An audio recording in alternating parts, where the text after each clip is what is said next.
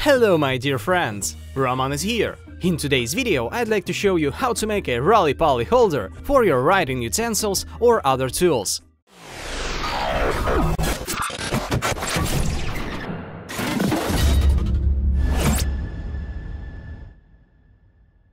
First we need an aluminium can, for example from Coke or any other soft drink, a small piece of lead, which you can get from old car batteries, fishing plums, or you may also use other materials of your choice. One paper cutter, pliers and one screw.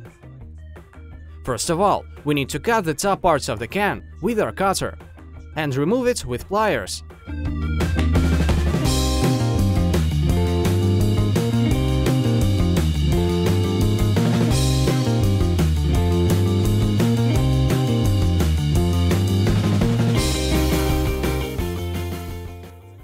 Next, we need to melt our lead in any metal vessel.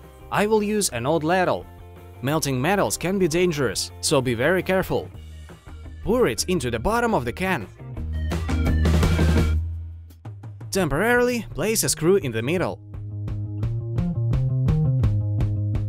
After our lead has cooled down, remove it from the can using pliers.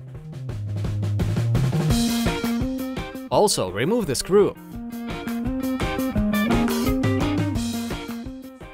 Put the mold back into the bottom, but upside down.